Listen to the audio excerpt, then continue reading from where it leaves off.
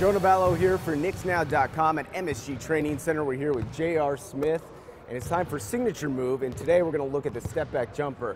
That thing's deadly, J.R. Uh, a lot of people think of you as just a three-point shooter, but today I want to look at what you do off the dribble. You get that defender off balance. You're able to get your shot over some guys that are a lot taller than you too. So walk us through what you do in order to get that step back jumper off.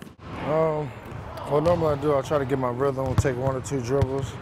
Uh, I try to get at least one or two good dribbles to the basket.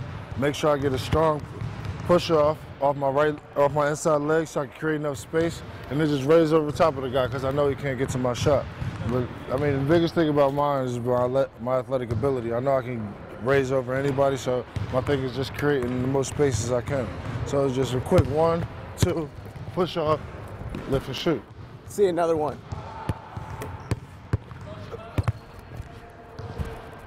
When you were in high school, uh, did you have that shot in your repertoire, or is that something that you've developed once you got in the NBA? Oh, it's something I've always had.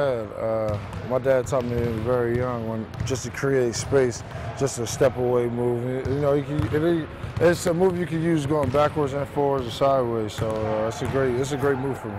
All right, well that's a great signature move, J.R. Smith. I know you got plenty of them, so we're gonna keep up with you all season. And uh, make sure to follow this guy on Twitter. Yes, One of the best around, right? You At the real J.R. Smith. Thank you so much. There he is, J.R. Smith. Next take. Whoa, whoa.